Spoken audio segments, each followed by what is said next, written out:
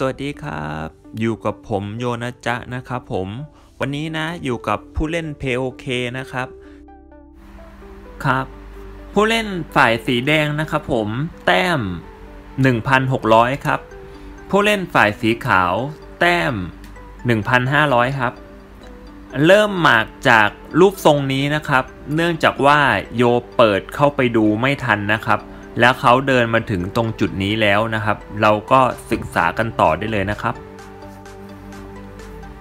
สีขาวครับผม เอาขุนเข้าวังใน สีแดงครับ ย้ายเรือมาจับเบี้ยคว่ำสีขาว ใช้เรือผูกเบี้ยคว่ำโดยปกตินะครับ ตานี้ถ้าเป็นโยนะ โยใช้เบี้ยตัวนี้ผูกนะครับ แต่ว่าถ้าเป็นเกมนี้จะเห็นว่าอาจจะโดนทิมได้นะครับผมอันนี้โยก็เลยคิดว่าการที่เขาใช้เรือผูกเป็นสิ่งที่ดีนะครับผมที่โยจะต้องคิดให้รอบคอบในการผูกตัวหมาก สีแดงครับผมขยับขุน สีขาวครับ มากดรอ สีแดงไม่กลัวครับขึ้นมายืน สีขาวครับผม ทิมเบี้ยขึ้นไปเป็นสามเบี้ยนะครับ ตรงนี้สีแดงหยุดคิดอยู่นานพอสมควรก่อนที่จะเดินขุนหลบเข้าไป สีขาวครับ ดันเบี้ยเข้าไป ส่วนสีแดงครับ ขยับเรือ สีขาว แทงเบี้ยเข้าไปที่ชอช้างห้า ตรงนี้มีการกินโต้ตอบของฝ่ายสีแดงและฝ่ายสีขาวนะครับ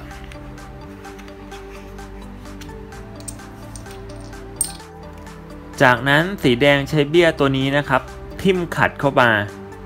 ทำให้สีขาวทิ่มเบี้ยตัวนี้ขัดเข้าไปเหมือนกัน สีแดงครับผม ถอยม้าผูกเม็ด สีขาว ยึดคองยอหญิง ตานี้ครับผมเม็ดแดงหนีไปได้ สีขาว ทิ่ม ผูก เบี้ย คว่ำไว้นะครับผม ซึ่งตานี้โยไม่เข้าใจนะครับผมว่า เขาก็จะโดนทิ่มแล้วสีขาวก็จะเจอปัญหาเดียวกันนะครับ ที่ว่าจะต้องเอาม้ามาผูกนะครับ แล้วก็ถอยเบี้ย ทรงเดียวกันเลย นะครับผม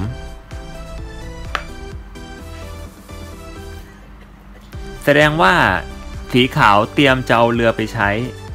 ครับ ตรงนี้โยพอเข้าใจได้นะครับว่า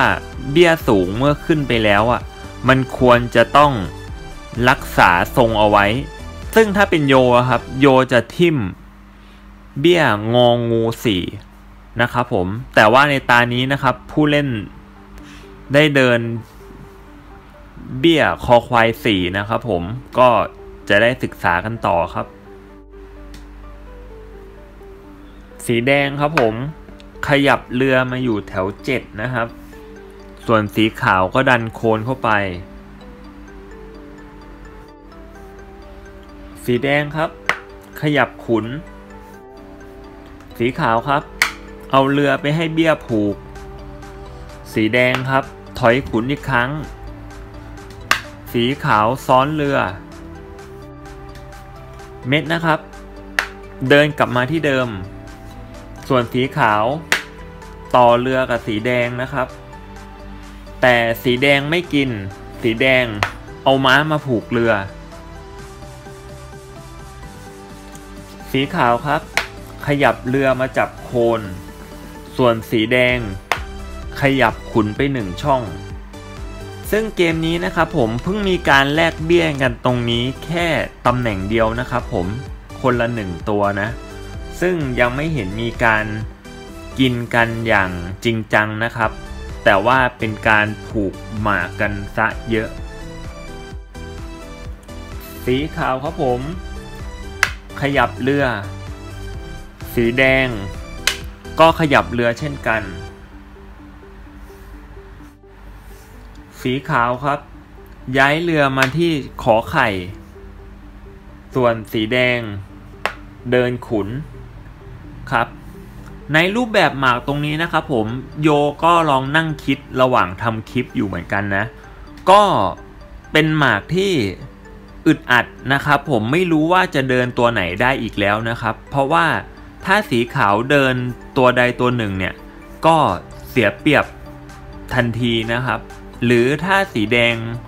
กินตัวไหนเข้าไปก่อนนะครับผมแตกค่ายที่ตั้งไว้แตกนะครับผมก็เลยไม่แน่ใจว่าเขาจะบุกกันยังไงต่อนะครับ สีขาวครับ เอาเรือมาผูกเบี้ยนะครับ คราวนี้สีแดงเอาขุนขึ้นแล้วนะครับผมไม่หนีเหมือนตาที่แล้ว สีขาวครับ เอาเรือมาผูก สีแดงถอยอีกแล้วนะครับ ก็เข้าใจอยู่นะครับว่าถ้าอยู่ตานี้นะครับ เอาเรือลงมาตี ยังไงก็ต้องถอยอยู่ดีนะครับ ผมดังนั้นก็เลือกถอยไปซะเลยดีกว่า ตานี้นะครับผมผู้เล่นฝั่งสีขาวน่าจะหมดความอดทนแล้วนะครับผมทำการบุกกินเม็ดนะครับ สีแดงเอาโคนกินกับ สีขาวทิมเบี้ย แต่สีแดง เดินเรือ สีขาวครับผม เดินม้าถอยกลับมา สีแดงเอาเรือมาอยู่ที่คอควาย สีขาวครับ เอาม้าขึ้นมายืนที่งองงูสามสีแดงครับ เดินขุนไปหนึ่งช่อง สีขาว เอาเรือตามลงไปที่ยอหญิงเจ็ดสีแดงครับ หลบเรือ สีขาวครับไขว้ม้า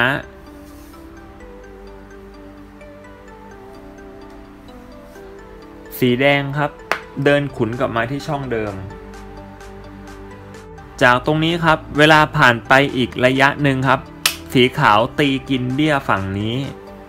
และสีแดงก็กินตอบกลับมา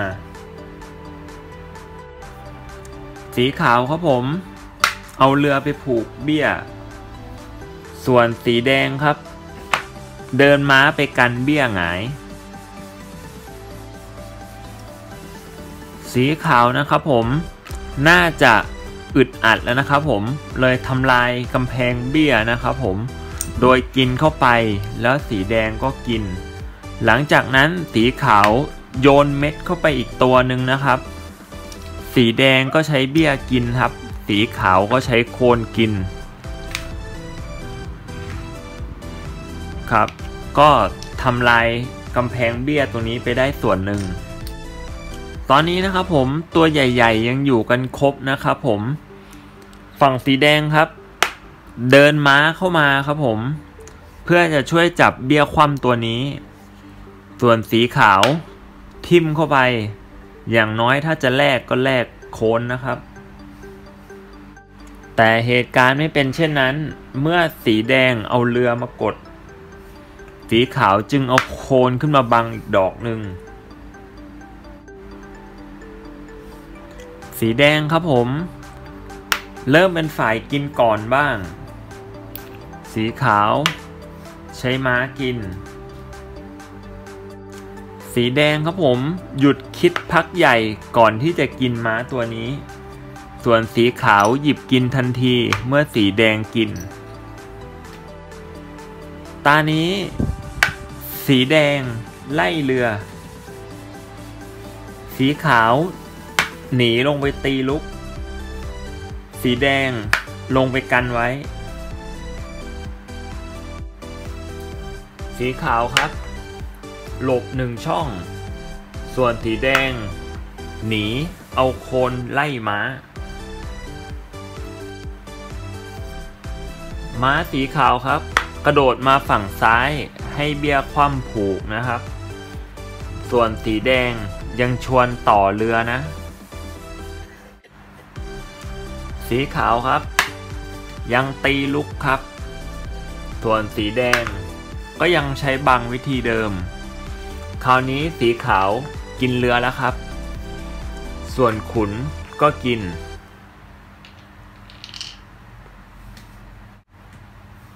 สีขาวครับ เริ่มเอาขุนขึ้นมา ส่วนสีแดง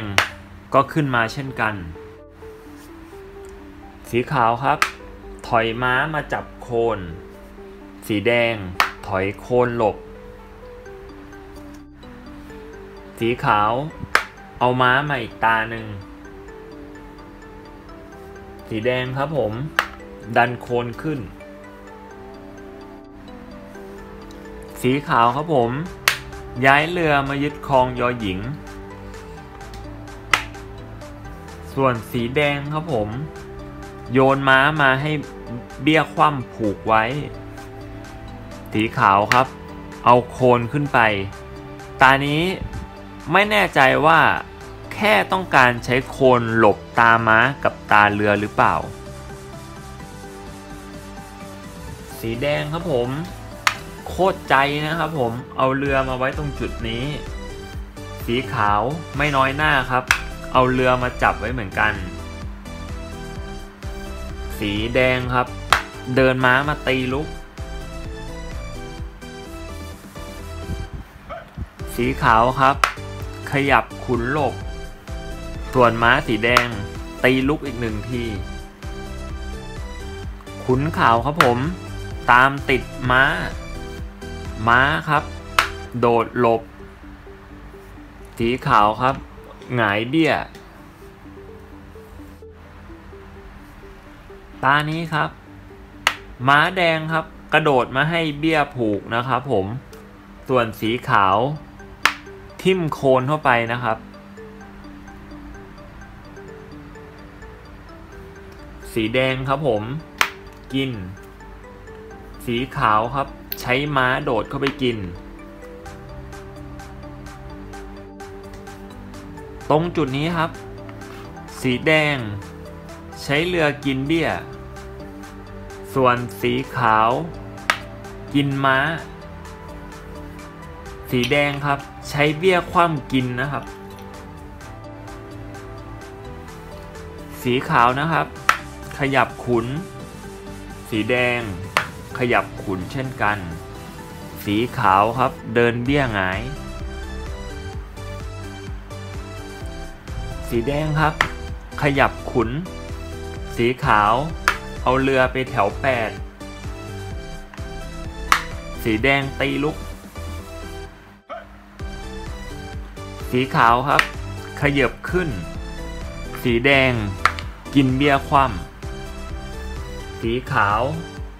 ตีลุกบ้าง สีแดง หลบเพื่อจะกินเบี้ยคว่ำสีขาว เอาเรือตามเข้ามาลุก สีแดงถอยลงมาหนึ่งตา สีขาวครับ กินเบี้ยคว่ำส่วนสีแดง หงาย สีขาวครับ ขยับเบี้ยผูกเรือ ส่วนสีแดงขยับเบี้ยผูก จะกินเบี้ยคว่ำสีขาว ขยับขุน สีแดงครับผม กินเบี้ยคว่ำส่วนสีขาวขยับเรือออก สีแดงขยับขุน พอถึงตรงนี้นะครับผมสีขาวนะครับ หมดเวลาในการเดินนะครับผมก็จึงแพ้ไปครับ ก็อย่างน้อยนะครับในกระดานนี้ก็ทำให้เรารู้ว่าการเล่นนะครับผมใช้การผูกตัวหมากให้เหนียวแน่นนะครับ ดีกว่าที่เราจะแลกกันไปแล้วเสียเปรียบ หรือว่าเอาตัวใหญ่ไปแลกกินสองนะครับ ก็คิดว่าทำให้โยเปลี่ยนแนวคิดเรื่องการรักษาตัวหมากเอาไว้นะครับผมก็หวังว่าเพื่อนๆจะได้แนวคิดนี้เหมือนกันนะครับสำหรับวันนี้ขอบคุณมากนะครับ สวัสดีครับ